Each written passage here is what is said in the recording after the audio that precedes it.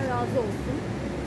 Aysel abla Gölköy'de serbest avukat olarak meslek hayatına başlamış. Ardından hazine vekili olarak meslek hayatını sürdürmüş ve yaklaşık 14 yıldır da serbest avukat olarak yine Ordu Barosu çatısı altında görevini ifa etmekteydi. Aysel ablayla dönem dönem e, ziyaretlerimde sohbetlerimiz olmuştu. Hep e, bana abla şefkatiyle nasihatler verirdi. Ben de haddim olmayarak ona derdim ki Aysel abla yani artık bırak kahveni iç, keyfine bak, televizyon dizilerini seyret, biz seni ziyarete gelelim derdim. O da bana mesleğini çok sevdiğini, cübbesini giymeyi çok sevdiğini, ofisini, kitaplarını, dosyalarını, kokularını dahi çok sevdiğini ve mesleğe çok büyük bir bağlılıkla e, yaptığını ve ömrü boyunca da yapmayı düşündüğünü söylemişti. E, burada birçoğumuzdan çok e, yaşı daha büyük bir meslek hayatı var. Ama hepimize onun mesleğine olan tutkusu kadar bir heves versin inşallah. Son olarak Haziran ayında sevgili Murat Çumadar'ın e, rahatsızlandığı dönemde hastaneye yatmıştı. Ve ziyaretinde bana şöyle söyledi, artık senin nasihatlerini dinleyeceğim, görevi bırakacağım, ofisimi devredeceğim ve bana kahveye geleceksin, söz ver demişti. Ben de ona söz vermiştim.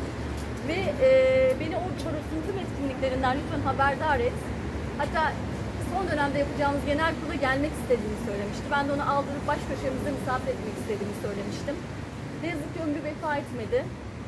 Biz onu hep e, güzel anılarla, dimdik duruşuyla, hep güzel haliyle hatırlayacağız.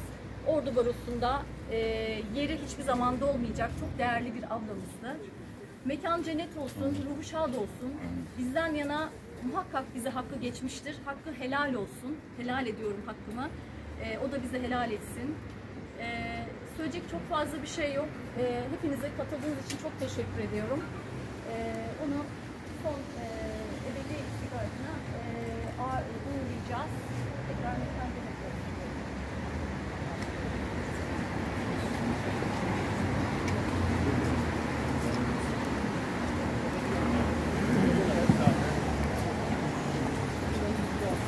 Merhamenin ruhu için Allah rızası için El Fatiha.